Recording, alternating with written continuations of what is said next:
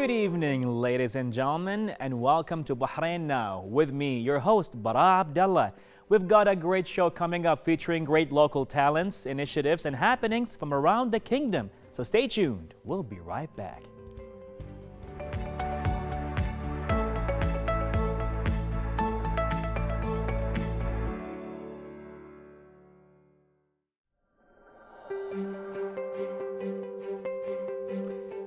Ladies and gentlemen, the Heart Matters campaign launched by the medical students at the College of Medicine and Medical Sciences at the Arabian Gulf University at the Avenues Mall continues for the second day in a row to spread awareness of heart diseases in conjunction with the global campaign to raise awareness of heart diseases. And to speak more about that, we are joined here in the studio by Arabian Gulf University students, Maryam Sawaidi and Yasmin Khalaf. Well, good evening. How are you? Hello, good evening. We're fine. Amazing, amazing. So second day in row, a lot of good stuff been going on, a lot of reception. Tell us more about the campaign. All right. Um, so first of all, we're very happy and very excited to be here representing the team of organizers of Heart Matters, the Heart Disease Awareness Campaign. So to begin with, um, uh, we're a group of medical students from Arabian Gulf University. Most of us are interested in studying further about cardiac health. Therefore, we decided to plan for an event that focused on heart diseases. We conducted our event within the month of February because it is the Heart Disease Awareness Month that has been allocated by the American Heart Association. Mm. All right, so before I talk further more about our event, I'd like to thank the Arabian Gulf University and our strategic partner, Bahrain Defense Force Hospital, BDF, as well as our success partners, Bahrain Petroleum Company, BAPCO, National Bank of Bahrain, NBB, Kuwait Finance House, KFH, as well as the Avenues Mall for hosting our event. They provide us with tremendous support all throughout the campaign. Mm. In our opening ceremony, we were honored by the presence of Ms. Sabika Al-Fadala, a member of the Shura Council, as well as Dr. Abdurrahman Yusuf, the Vice President of Arabian Gulf University. Amazing. So pretty much it was a very active event, you know, and a lot's been going on. Tell us about the reception by the people at the campaign. Um, so we've had a good public interaction. Mm. Um, the uh, the event consisted of seven main stations. Mm. Um, the first station would be the registration station. So, uh, so the visitors would begin with this first station, and we would collect their names, some of their demographic information.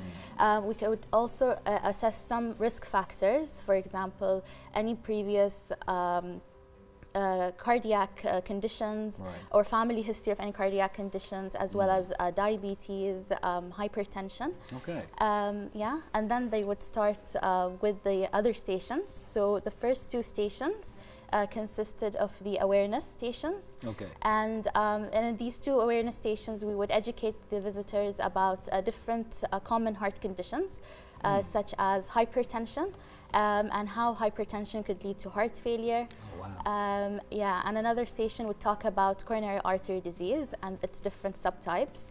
Uh, we would educate the visitors about the signs, the symptoms, the clinical features mainly, mm.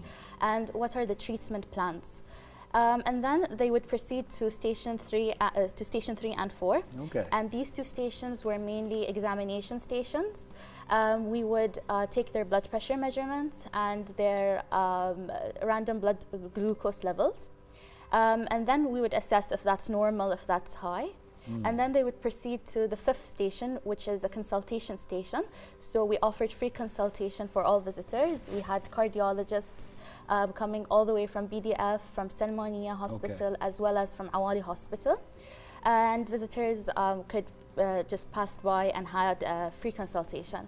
And then the last station was the uh, test your knowledge station. So we would kind of test these uh, visitors a bit about what they learned from the previous stations. Right and then uh, they would get uh, coupons, they would get gifts. So yeah, no one left uh, empty-handed. Nice. Yeah. I mean, I would fail. I'm sure of that. no, we didn't let anyone lose. Amazing. yeah. I mean, so it's pretty much like a journey. Yeah. They yeah. go through different stations. They get to learn. They get to be educated, and they leave with a coupon and a smile on their face. Yeah. But mostly, is pretty much getting the an eye opener of what's really going on with heart diseases all around together. So, you know, AGU being pretty much a pillar in the medical scene here in Bahrain, how did AGU support you with all of this? Uh, so AGU provided us with all the guidance and support throughout uh, organizing this event. Um, and uh, as an AGU student, I have witnessed so many events and so many campaigns being held mm. Uh, throughout these years. So, uh, for example, this year alone, we already had three uh, main campaigns, and this was the third one. So this really reflects how um, AGU uh, really teach us the importance of volunteering and giving back to the community. Oh, that's beautiful. And all medical students coming in, pretty much having a face-to-face -face talk with visitors yes. and yes. giving back to the community as pretty much preparing them for the future actual career path and you know the community service to everybody. Yes, that is beautiful. Now, heart disease, cardiac attacks, and all of that.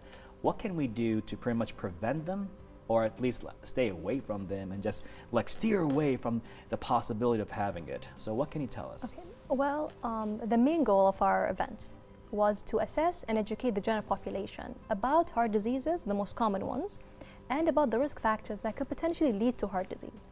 So to name a few, hypertension, diabetes mellitus, and smoking. These are just mm. a few mm. of them, even though we have lo a long list. We can go on. Okay. But uh, just to name a few and uh, make the people more aware of them. So by treating those risk factors or controlling them, you're not only preventing heart disease, you're also uh, controlling pre-existing heart conditions, if they okay. are present, to maintain a good quality of life.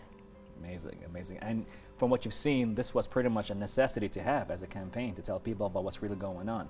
Yes, of course. As like more and more cases have been going up, you know, yeah. pretty much uh, people are now less motive, they are yeah. less mobile, they're yeah. just pretty much yeah. more convenient than before and sitting down so they don't get to move a lot as before, not a lot of motion. And nutrition can be a questionable thing right now as well for a lot of people. So thank you so much for making this happen and putting a lot of smiles you know, out there and plus educating people like myself and everybody else. Any last words you want to like to give right now to your viewers right here on Bahrain Now? Uh, yes, I'd like uh, to thank all the uh, organizers, head organizers. Uh, without them, this event wouldn't be possible. Mm. starting with uh, Jawahar Bubshet, uh, Mariam Al Dosari, Dana Al Mahmoud, Fatma Al Jazairi, Bayan Al Sayagh, Mariam Al Fadala. Amazing. and Nofal Ansari, Wajdan Al Batli, Khalid Aliani, and um, Ahmed Al Ali. Uh, without them, this wouldn't have been possible. And I would also like to thank Bahrain TV for giving us this opportunity Most to be pleasure. here today. And my last message through this media platform would be um, to, uh, it's important to assess um, any uh, cardiovascular or any heart condition mm. because after all, the heart really does matter. It does, it yeah. does. Any last words? Um, thank you for having us today. Um, we really wanted all of the members actually to be here because all of them did such a great job. Amazing. Everyone was interactive, everyone was there, everyone was present, everyone knew their roles, exactly what to do, and they overall give such a huge support for this campaign. We also want to thank all the participants who joined in in our campaign. They also made this happen all together. And thank you for having us today. It was definitely the most pleasure for us. Thank you so much, and for your amazing team. So we're gonna pass by, see what's happening over there, and get the coupon at the very end, and be informed with what's really going on. How can we prevent heart disease? Big shout out to you and to your team, and thank you so much for joining us right here on Bahrain Now. Thank, thank you, so, so much. much. Well, ladies and gentlemen, that was Yasmin and Mariam from the AGU telling us of what's happening with the Heart Matters campaign. Take care of your heart and all that took place right here in an interview on Bahrain Now.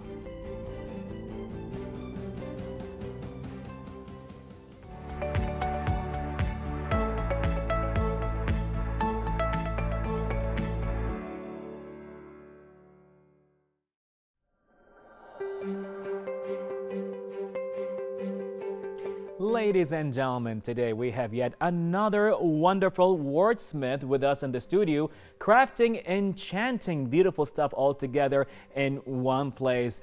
As she proves that bound to have you hooked with every word, let's get creative with Ghufran Ahsan. Good evening, how are you? I'm fine, thank you. How are you? I am great and excited to know more about your talent and your wordsmithing, all that together. Thank you for having me. It's most definitely a pleasure. So tell us more about yourself. So um, my name is Ghufran Hussain. I'm 20 years old. I am a medical student, full-time medical student, oh, wow. and uh, I do bits of writing as well. Mm. So now you're doing medical studies, yeah. and you're write yeah. very casually.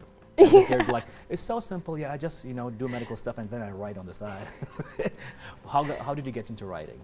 Um, to be honest, uh, I don't remember the exact process of how I got into writing because right. uh, I used to write um, ever since I was in grade one. And I would just write for magazines or things like that. And huh. I didn't really know I enjoyed doing it. I just did it for fun. And people would just love what I write. So I was like, okay, you know, they're enjoying it. I'm doing it. I'm just doing my thing uh, until I entered my teenage years, mm. where I actually penned down my uh, first book, which is uh, Undressed. Really? Yeah, In I was school? 15. You and 15. Yeah, I was wrote your first book. Yes. And um, I wrote it, and then I completely just snapped out of it. I was like, no, I'm not going to publish it because uh, I think as writers, we're always insecure about uh, what we write. Right. Right. You just don't want to offend or upset someone because. Uh, Interesting because you know what you write and it's, it's too personal sometimes and okay. you don't want to get judged for it so I kind of was in that teenage phase where I didn't want to, you know, be bullied or I didn't want to be judged mm. by my mm. classmates. So I just kind of just wrote the book and I just kept it in the corner. So uh, I think until the very lockdown, the first lockdown when it hit us, uh, I found uh, myself uh, just getting into anxiety, and it wasn't really good for me. Mm. So I wanted something. Uh, I wanted a little break from everything I was doing. Of course, yeah. And uh, I told my mom, like, you know, I, I just don't know what's, what's really happening. And she said, You're a great writer, and I know that for a fact. So just do what you do, and you have me. So I was like, It's beautiful. Yeah. You have me. Yeah. Yeah. And I was like, Yeah, okay, I'm going to do it. And then I penned my first book down, which was okay. uh, Isotope. It was a science fiction book. Um, it kind of revolved around the idea of alternate dimensions. Mm. So uh, I think I, I love a lot of things. I love sports. I love physics. I love uh, you medicine. Love physics. Yeah. Okay, we'll talk about that later. yeah, and, and I love medicine, and I wanted to get myself uh, involved in everything. So, okay. uh, but I was always told that you know, growing up, you can just have one career, because, uh, like, if you have a lot of things to do, it's just like a master of none, basically. Right. So I didn't really know what I wanted to do until. Um, you know 11th grade and i was like okay let me just stick to medicine and then let's see what works out. And then alhamdulillah things happened and my books got out. Don't you think it's just fascinating how the human brain can actually do so much and so many and so well at the same time? I think it's quite like we underestimate ourselves. We do all the like, time. we just think that okay you know that's my dream job and i'm just going to keep working hard right. for it. or i'm a student. yeah. yeah i'm a student i'm just going to study and i don't think there's a life except for that like if you truly just explore yourselves mm. i think you mm. can you can do multiple things at the same time true true you know as people like myself struggle to even finish an email without having any grammatical mistakes there you are the age of 15 writing your own book now as we introduce you as a wordsmith now what is that feeling that you get when you put these words together and you weave them into a paragraph expressing your own feelings how does that feel so um, I think I get more excited when I talk about poetry because I've always been a poet before being a writer. Okay. So uh, I usually write about domestic violence or eating disorders or I write about mental health. Hmm. And it's kind of weird because people ask me where do you get your inspiration from? Right. Because these are very uh, triggering topics. They are. Yeah. So much. I myself don't know where I get the inspiration to write these. Must be Netflix. Actually, um, it is the stories I see or the stories I hear or people right. they come tell me, you know, like, yeah, I've been through this, and it kind of like gets I, I get furious like I can't do anything about it except just listen. So I pen it down, and it, down. it becomes a poem. Okay, so now at the age of 15, you wrote a book. You penned your first book. I mean, I just learned this uh, phrase now, penning. and now, being a medical student, do you feel that that goes hand in hand? That does one help the other field? Does writing help you being a medical student and the other way around? Um, actually, I write because I am a medical student. Because okay. um, being a medical student, I have no spare time. So if I have spare time, I love I love sleeping, so I just sleep. Everybody's favorite hobby. I know, and sometimes I read so much, or I I'm so you know busy doing an assignment or studying for an exam that I right. have burnouts, and. I'm like I want to do something else, and that's when I turn to writing. And sometimes it's like I'm studying for an exam and I have beautiful words come to my head, and I'm like mm. I want to pen it down, but I can't stop what I'm doing right now. Right like I'm studying, so I can't just leave it there. So what I do is I just quickly take a voice memo and uh, huh. I just keep it there. So whenever I have time, I pen okay. it down. okay, well that's very smart actually. You know, you are so dedicated to your craft. I love that. So now, how many books have you written so far or penned? I'm sorry. Um, so far, I've published two of my books. Okay. My first book was uh, a science fiction isotope, yes. and the second one uh, was ironically the book which I've penned down uh, when I was 15. So I didn't publish it first. Okay, and what's that book? Uh, so I recently got it published. Um, mm because I was still very insecure about my poetry because I said my poetry is very triggering. Like I have domestic abuse there, and it's very raw. Like my words, I don't filter it. Sometimes I get upset. Like maybe I should filter it because you know I hate you that. should not.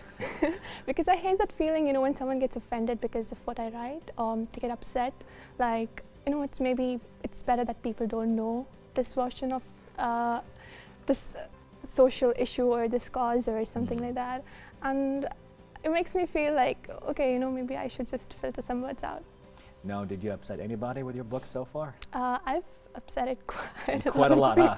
I think See, that's a good reaction. I think negativity comes, you know, whenever there's art or there's something, negativity right. comes with of it. Of course, you stir some emotions, definitely. So now, this is what you've done. Do you feel that you want to take your pen to another direction, your wordsmithing to another direction? You want to write more stuff, or you just want to pretty much emphasize on what you've been reading before, but very much more crafty. What What is the future so like here? I, I'm not going to stop writing, I know that of for course. sure. Yeah. Uh, my first book is actually a trilogy, and uh, there are more parts it's to a trilogy. it. Wow. Yeah. So okay. I've just released uh, part one, part okay. two, part three are yet to come. Um, I write a lot actually. I write about science fiction, crime fiction. Uh, I write horror fiction. Uh, and so I think I'm, I'm going to explore that genre more horror fiction yes. and science all together. That's that's a good combination. yeah. For more abuse in the future. This is very interesting. Now, can you tell us a little like a little brief about one of the stories you've been written, like a paragraph. You got me really curious right now. Okay, so I, I can talk about isotope for sure. Yes. So uh, it, the whole idea is around, it's actually written in a time period where Earth faces a scarcity of food and, uh, you know, they start seeking alternatives. So it's a bunch of friends who accidentally enter in an alternate dimension mm. where there's a lot of land, there's a lot of food, uh, but there's um, something else going on as well. So it's not the same as Earth. So everything over there is constantly evolving. They have different creatures there. Okay. It's a whole different world, I would say. Right. And they're trying to build on it. Okay. Huh. That's a good teaser. it's a nice trailer. Thank you. If you need a narrator, let us know. yeah, sure. For your book, like an audiobook, and maybe we can sell it somewhere in one of the movies. That Definitely. sounds great. Would you want to see your uh, story becoming a movie one day?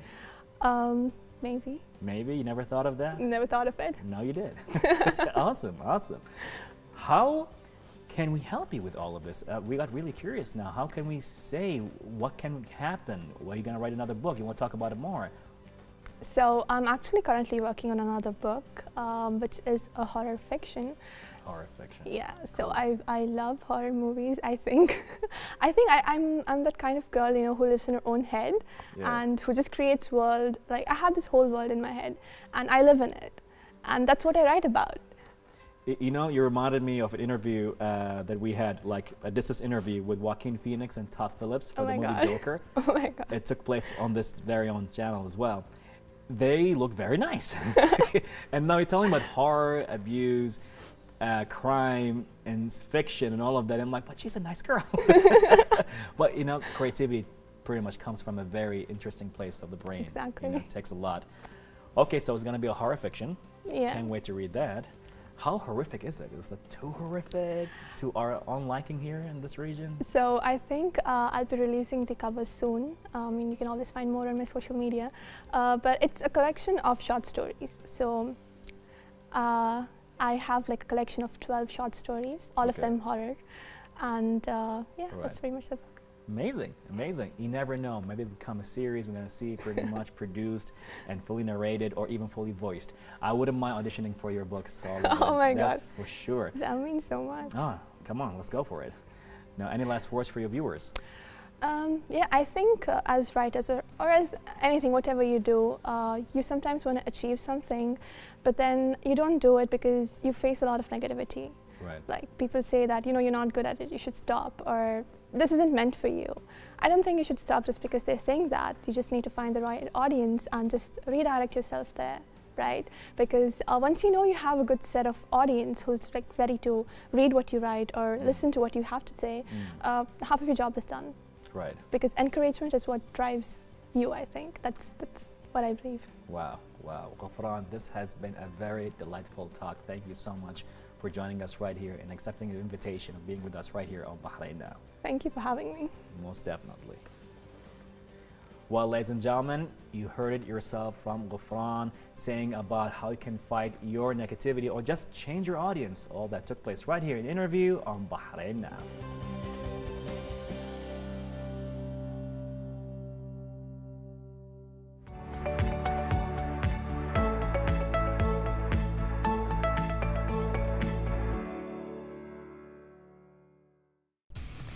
Everyone, I'm very happy that you're joining me today in this sunny morning in this great activity organized by Bahrain Raid Extreme where we will get into this amazing car for a rally ride with Sebastian Loeb, a world rally champion for at least nine times with a great record of achievements. Now let's go take a look at this amazing car.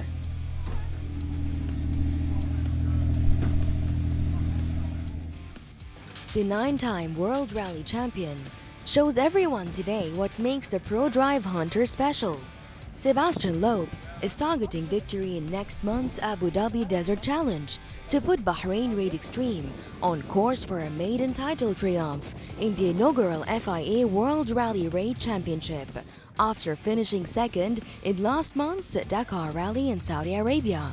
From a base at Bahrain International Circuit, BRX has completely rebuilt Loeb's ProDrive Hunter after creating Dakar history in Saudi as the first top team to complete the rally with cars running on next generation advanced sustainable fuel. We have with us here Mr. David Richards, the chairman of ProDrive. Hello, very nice to meet you today. Good morning.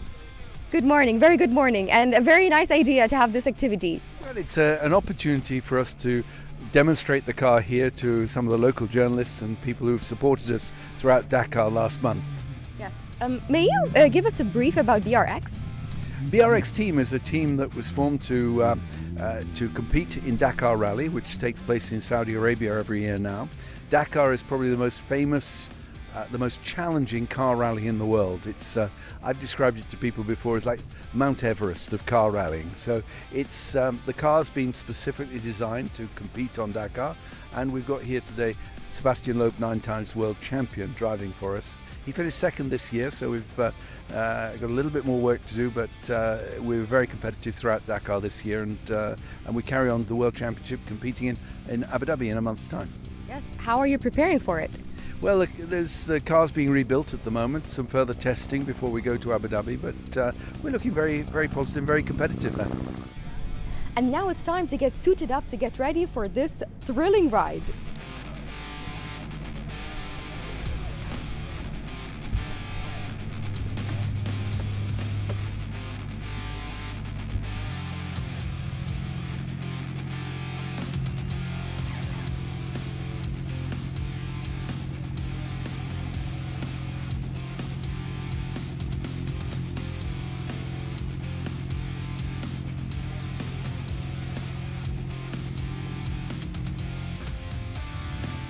Since Dakar, Loeb has secured a memorable eighth career win in the Monte Carlo Rally in his first World Rally Raid Championship start since 2020.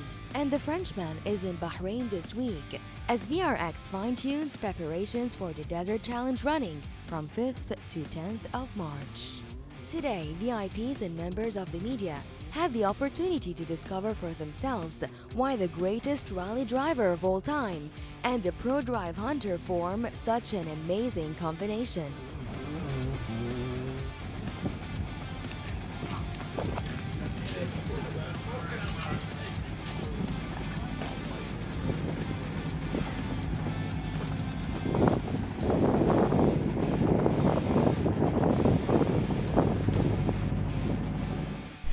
This was a mind-blowing experience and you have to try this for yourself. It, it cannot be described in words. And right now, I'm very happy that I have here with me our amazing World Rally Champion, Sebastian Loeb. Hello, thank you for being with us today. Hello, thank you.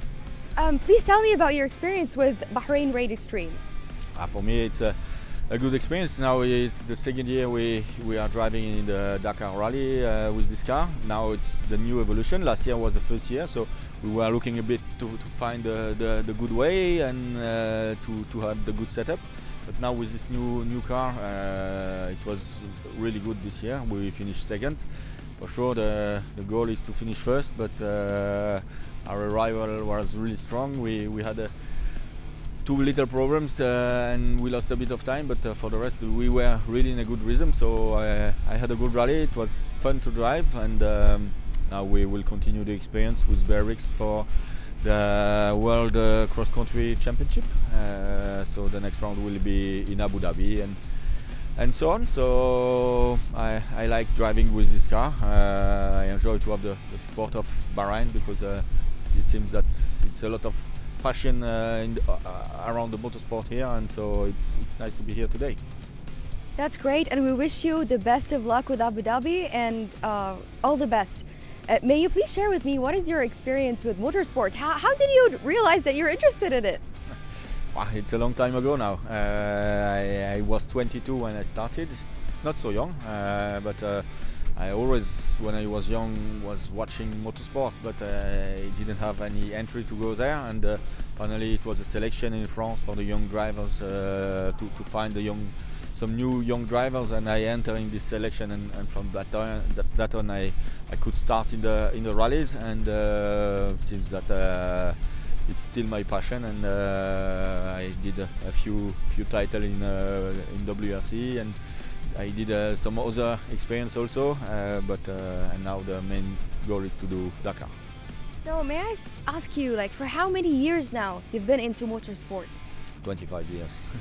Wow. It's a long time, yeah. Yeah, yeah, that's amazing. Okay, how do you prepare before any championship?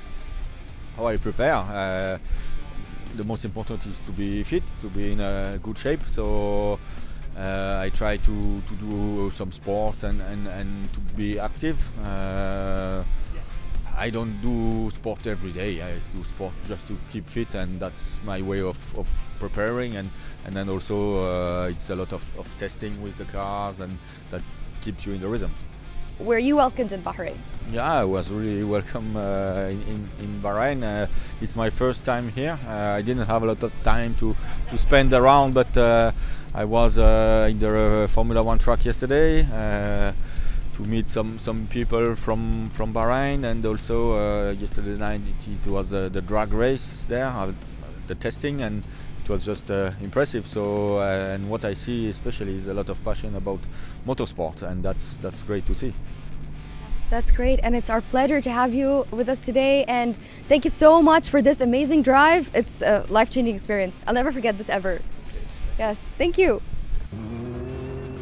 the BRX Pro Drive Hunter is a product of the partnership between Bahrain Mumtalakat Holding Company Mumtalakat, the sovereign wealth fund of the Kingdom of Bahrain, and ProDrive, the British motorsport and engineering group.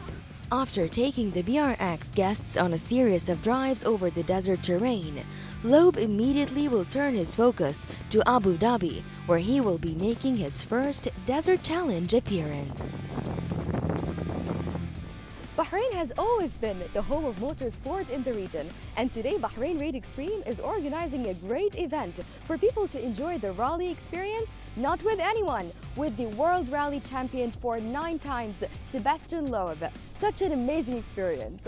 Hiba Abdel Ghaffar, Bahrain International.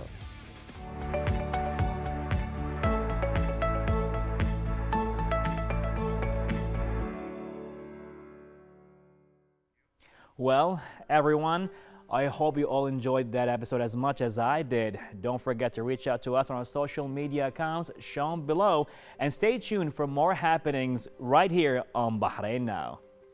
I'm Bara Abdulla. Till next time, Bahrain, goodbye and God bless.